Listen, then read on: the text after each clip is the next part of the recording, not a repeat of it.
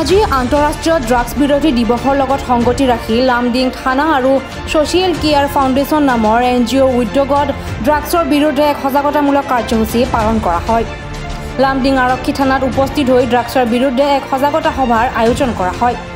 উক্ত সভাত লামডিং আৰক্ষী থানাৰ ভাৰপ্ৰাপ্ত বিষয়া অশোক কুমাৰ সিং গাঁওৰক্ষী বাহিনী বিজনী আৰক্ষী থানাৰ ভাৰপ্ৰাপ্ত বিষয়াৰ লগতে লামডিং আৰক্ষীৰ দল উপস্থিত থাকে আৰু ছ'চিয়েল কেয়াৰ ফাউণ্ডেশ্যন নামৰ এন জি অ'টোৰ কাৰ্যকৰ্তাসকল উপস্থিত থাকে।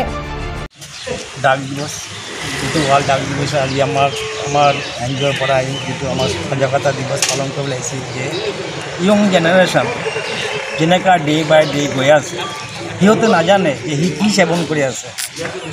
সেৱন কৰাৰ পিছত তাৰ ফেমিলি মেম্বাৰ কি আছে তাৰ পৰিৱেশ কি কি হৈ আছে সমাজ কি হৈ আছে।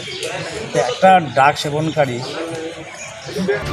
উক্ত সভাৰ জৰিয়তে লামডিং আৰক্ষী থানাৰ ভাৰপ্ৰাপ্ত বিষয়া অশোক কুমাৰ সিঙে সমূহ ৰাইজক ড্ৰাগছৰ বিৰুদ্ধে মাৰ বান্ধি থিয় হ'বলৈ আহ্বান জনায়। World international drugs abuse day আছে। গতিকে এই সংক্রান্তে আমার লামডিং থানায় আর লামডিং সোশ্যাল কেয়ার ফাউন্ডেশন যে এন জি অ' তৰফৰ পৰা আমি এটা এণ্টি ড্ৰাগছ মুক্তিৰ কাৰণে আমি এটা সজাগতা অভিযান আয়োজন কৰিছোঁ।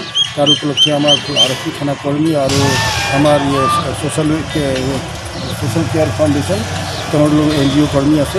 তেওঁলোকৰ উপস্থিতি আমি ড্ৰাগছ মুক্তিৰ কাৰণে চবকে সজাগতা অভিযান কৰিছোঁ ছাৰ দেখা পাওঁ যে প্ৰতি বছৰে এই দিনটো পালন কৰা হয় কিন্তু তাৰ পৰিপ্ৰেক্ষিতত আজিৰ দিনত কিমান সচেতন ৰাইজ বা কিমান সচেতন যুৱ প্ৰজন্ম?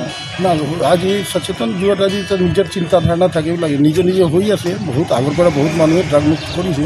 কিন্তু আৰু আমি অধিক কঠোৰ প্ৰয়াস কৰি আছোঁ যাতে কোনোবা মানুহ আৰু ড্ৰাগৰ পৰা মুক্তি নাপায় ড্ৰাগা তেওঁলোকক